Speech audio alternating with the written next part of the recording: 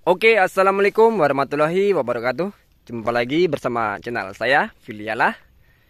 Di kesempatan video saya kali ini, saya akan membahas mengenai uh, bibit sawit unggul, bibit bibit sawit bersertifikat, baik itu varietas apa pun ya, yang intinya punya sertifikat resminya.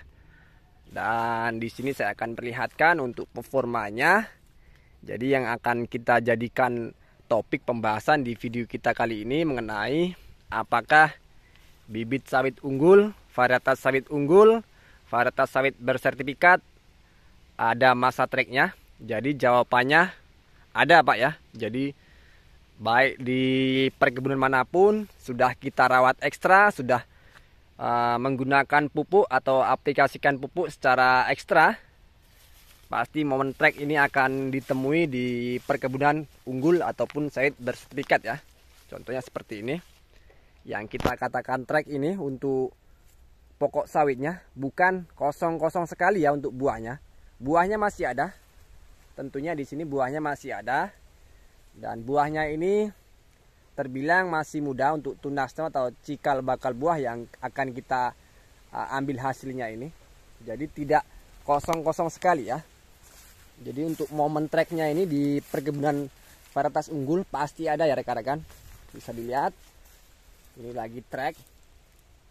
Nah, ini. Tapi untuk tunas buahnya atau uh, cikal bakal buah sudah ada, sudah aktif, sudah mulai menyusul. Nah, ini. Jadi tidak heran ya kalau sekalipun bibit sawit unggul ada momen treknya karena apa? Dengan rotasi panen yang selalu kita ambil untuk setiap bulannya. Jadi tidak heran kalaupun kita temui masa trek untuk sawit yang sudah kita tanam sekalipun itu bibit sawit unggul ya. Nah ini. Nah ini untuk performa sawitnya dari varietas unggul. Jadi kita katakan trek walaupun untuk performa buahnya cukup lebat seperti ini tapi ini tergolong masih muda ya dan untuk menunggu waktu matangnya ini butuh berapa uh, lama ya untuk matangnya ini bisa uh, 3 4 6 bulan. Nah, ini. Jadi untuk sekarang ini hampir ya. untuk panennya ini hampir kita tidak dapatkan buah yang masak di perkebunan ini. Jadi karena itu tadi karena momen trek tadi. Tapi kalau untuk masalah uh, tunas buahnya atau cikal bakal buah sudah aktif, sudah rapat sekali. Bisa dilihat ya. Nah ini. Jadi untuk sekalipun bibit unggul, bibit sertifikat ini uh, tidak terlepas yang namanya trek. Rekan-rekan perlu garis bawah ya. Nah ini. Untuk kadang ya masih ada untuk satu dua yang mulai masak seperti ini. Nah ini sudah mulai masak lagi ya. Jadi kalaupun di saat perkebunan kita lagi trek ini ah, manfaatkan waktu sebaik mungkin. Bisa kita untuk penanganan gulmanya bisa untuk kita pruning ataupun bisa untuk kita piringan. Nah ini. Atau penyempurnaan dalam pengaplikasian pupuk. Bisa menjadi uh, acara ataupun langkah yang tepat sembari menunggu uh, kebun sawit kita mulai produktivitas dengan baik lagi ya seperti ini. Jadi untuk perkebunan ini untuk perkebunan ini sudah sangat baik sekali dalam membuat pokok sawitnya besar sehingga ke depannya sudah uh, pantas ya jika mendapatkan buah yang lebat dan berbobot. Karena apa? Sudah uh, diberikan pemupukan yang sangat ekstra. Di samping itu bibitnya memang bibit yang unggul atau jenis yang bersertifikat ya. Ini, sudah mulai tua untuk tunas-tunasnya. Untuk rekan-rekan jika ada niatan tanam sawit ini tetap ya prioritaskan mendapatkan bibit yang bersertifikat, bibit unggul supaya apa? Bibit yang kita tanam ini dapat kita jagakan dapat kita harapkan. Jadi sekalipun treknya ini tidak kosong-kosong sekali kalau untuk bibit unggul atau bibit sertifikat masih akan ada tetap tunasnya. Tunasnya selalu tidak pernah putus ya. Ini. Dengan satu catatan kita dapat merawat kita dapat uh, memberikan pupuk yang sesuai dengan takaran yang pas dengan skema pemupukan yang rutin.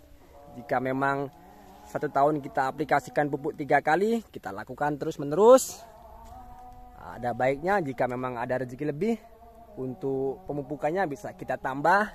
Satu tahun empat kali itu akan membuat performa dari sawit yang kita tanam ini semakin baik ya.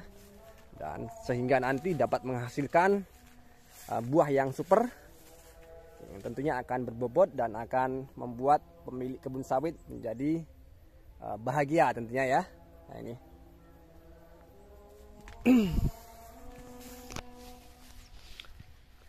Jadi untuk rekan-rekan ini jangan khawatir ya jika memang uh, masih ada momen trek seperti ini nikmati saja. Biasanya momen trek ini dibarengi di saat musim kemarau. Kemarau ini datang uh, buahnya akan menurun produktivitas setiap pokoknya akan menurun dan ini wajar sekalipun kita sudah aplikasikan aplikasikan pupuk secara hebat secara ekstra tetap saja sawit ini di saat musim kemarau akan ada penurunan produktivitas karena kekurangan air bisa jadi dan udaranya ini gersang panas sehingga menjadi uh, hambatan untuk performa sawitnya ya. Oke. Mungkin cukup sampai di sini video yang bisa saya berikan. Mudah-mudahan menjadi motivasi, bisa menjadi tambahan ilmu bagi rekan-rekan yang sudah uh, berbudidaya tanaman kelapa sawit ya. Ini forma buahnya seperti ini ya.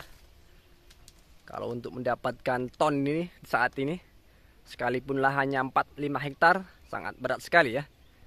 Dalam keadaan pemulihan.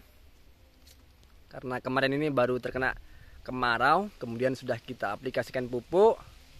Tinggal menunggu uh, 4-6 bulan ke depan, pasti tentunya untuk performanya akan mantap ya, akan jos ya. Ini sudah tunasnya mulai sudah mulai tua, kemudian masih disusul lagi untuk yang atasnya ini. Oke. Cukup sampai di sini video yang bisa saya berikan. Saya ucapkan mohon maaf apabila dalam sharing saya, dalam perkataan saya ada kata-kata yang kurang pas, ada kata-kata yang kurang benar.